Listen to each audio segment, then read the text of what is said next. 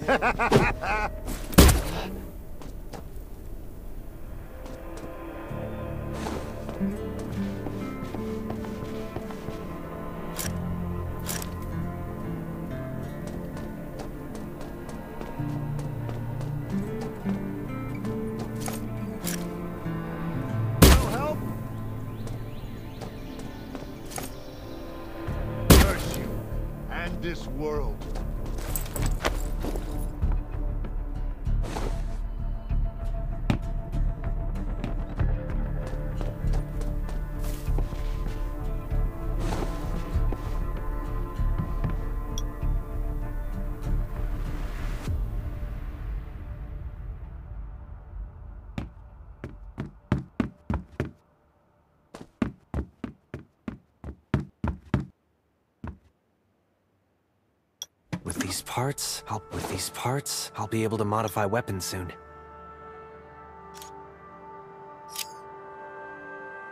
Whoa. Hmm.